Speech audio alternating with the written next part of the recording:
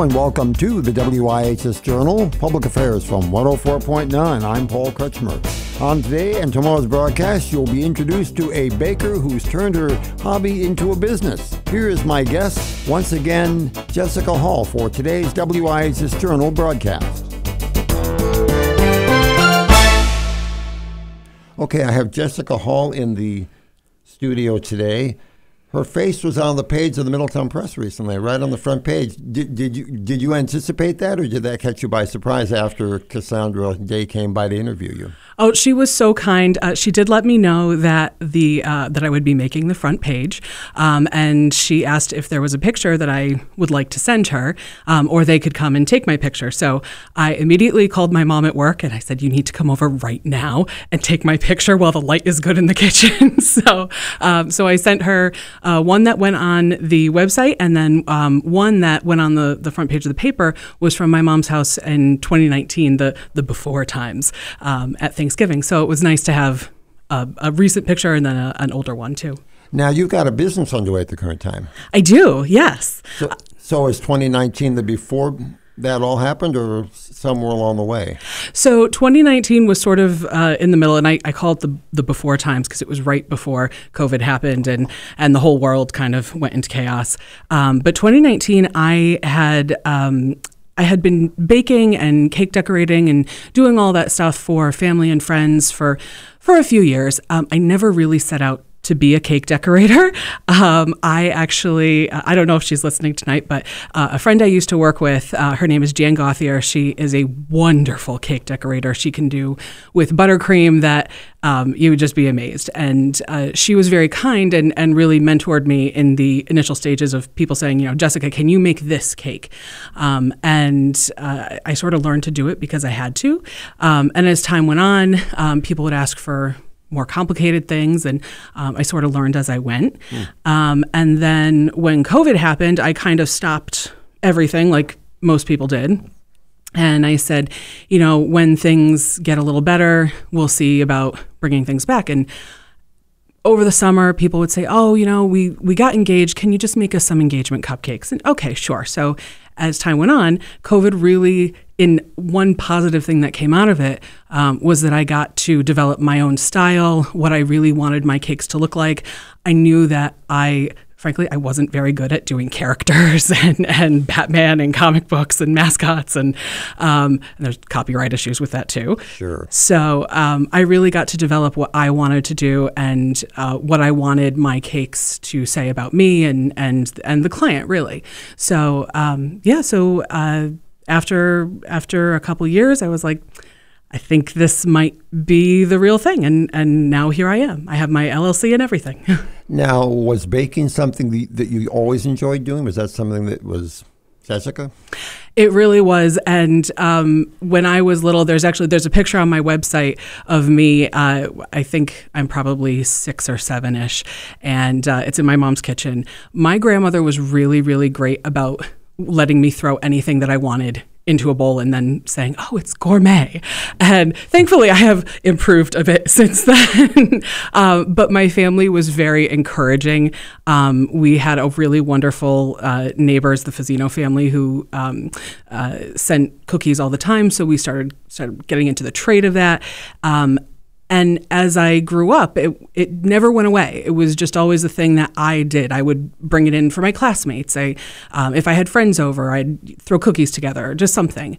Um, and when I was in college, I said to my advisor at the time, I'm like, I think I I kind of want to do this. And he looked at me and like, Are you insane? You just, you just invested how much in a Latin degree and you're going to Tufts on a scholarship? And what, why would you want to do this? And I was like, Yeah, okay, you know, I get it.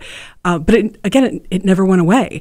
Um, so as the years went by, um, I started, uh, I became a teacher for a while and I loved it with all my heart. Um, I lo- loved my students. I still love my students. They're still my kids. Um, but baking was always there for me. It was my creative outlet. It was the way that I could express myself. And I made people really, really happy when I did it. So it was, I feel like it was always the sort of thing where, where the Lord said to me, This is your talent and you have a great love for it, but it's not quite the right time. And then finally, I sat down at my desk in in uh, the fall of fall of 2020, and I said, Jesus, you really you have to point me in the direction because now like now I need the guidance. Um, and I got neon glowing one thing after another. This is the time. Um, so it was definitely there was a bigger hand in it for me. So, among the circle of people you know, then, were, you always? It sounds like you were the, always the go-to person for things like that. Absolutely. Um, my family is uh, they're, they're all really wonderful. My aunt, in particular, is a fabulous baker. Um, some of her recipes she has very kindly given so that I can use them. Her pumpkin cake, her apple cake, things like that. Um, but as time went on, um, and she kind of felt like I really don't feel like doing all this baking for holidays and all that. So it became me, um, and I really I enjoy that. I like being that go-to person. Yeah. Uh, as far as the actual operation is concerned, are you doing it out of a home type kitchen, or have you expanded your horizons a little bit to more what some people might consider professional business setting for something like that? Sure. So right now I work out of my kitchen. I am a licensed cottage uh, industry in okay. Middletown. Um, I uh, I typically do my pickups at Xavier High School because I live just behind the school and it's a lot easier to uh, get on and off Randolph Road there. Um, I have thought every I feel like every week I'm like, yes, I really want to go commercial and I want a storefront. And then the other part of me says, you know, I love the um, I love the quiet and I love that I'm working yeah. being creative in my own space. So much like uh, you know, I'm waiting for the neon sign that says, "Okay, now you're ready. Now, now is the time that you can go further." But um, I get a lot done in my little kitchen. Yeah. So um, I once did a thousand cupcakes in one weekend. Um, yeah, that was a that that was a epic epic feat. Uh, I'm very proud of that. So yeah. Yeah. Um, it seems sometimes that, that people start with something that they're really into, they really love. And then when they go into the business aspect of it, that portion of the thing becomes the consuming thing, and you get what you started with actually gets left behind in the pursuit of something else that needs its own level of care and feeding. It, you're absolutely right about that. And I have a lot of people say to me, when I tell them, you know, I'm a baker, I'm a cake decorator, yes, that's my actual job. Um, they're like, oh, you, you must love it. You must have so much fun. You get to bake cake all day. And yes, there is a degree of, of truth to that. I am extremely fortunate that I get to bake cake. Um, but it's not necessarily I bake cake all day. And uh, to do it consistently over and over and over, um, particularly, I, again, I'm very lucky that I have a, a, lot of creative freedom, but it's to someone else's expectation. Mm. Um, so it's not quite the same as you know you have your family over and you're baking cookies for holidays, and and that's a wonderful thing. And I'm so happy when people tell me that they like to bake too. Um, but doing it for business is a little bit different. And particularly now that I have to report to the state of Connecticut, I have to pay sales tax, I have to do all of those kinds of things.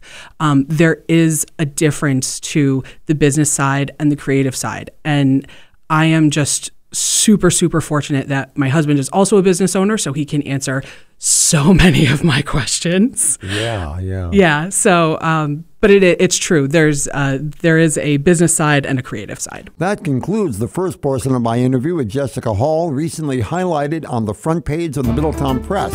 And I thought I'd like to speak with her too and find out how she takes something she loves to do and turns it into a business.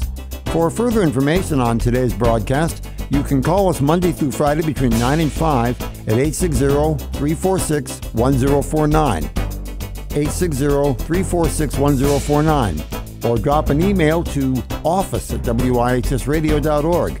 That's office at wihsradio.org. The opinions expressed on today's broadcast are those of the participants, not necessarily those of the staff or management of this station. I'm Paul Kretschmer on the WIHS Journal, Public Affairs from 104.9 WIHS.